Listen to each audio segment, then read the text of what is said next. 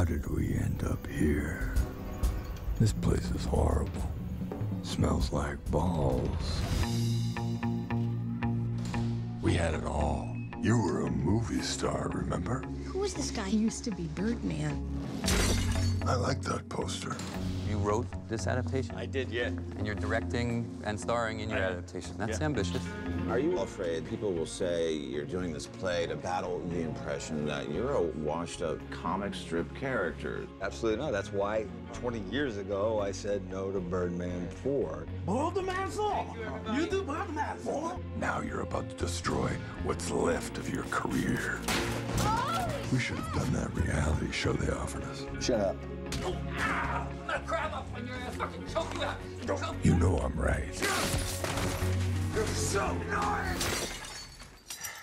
Hey, what's up? Uh, why don't you try to rest a little bit? Face it, Dad. You're doing this because you're scared to death, like the rest of us, that you don't matter. And you know what? You're right. You don't. Baby, can you understand me now? Sometimes I get a little mad. Don't you know no one alive can always be an angel?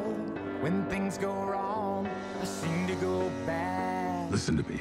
I'm just a You were the original man. Let's make a comeback. That's what I'm talking about. You are a god. Hey! Is this for real or are you shooting a film? A film! You people are full of shit. Music. He's a Hollywood clown in a lycra bird suit. Yes, he is. But he's going out on that stage and risking everything. It's about being respected and validated. Remember, that's what you told me. That's how you got me into this shit. I got a chance to do something right. I gotta take it. Let's go back one more time and show them what we're capable of.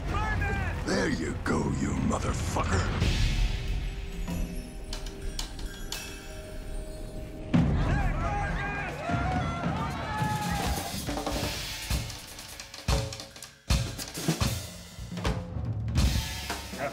Hey, don't be a dick. Let me get an autograph.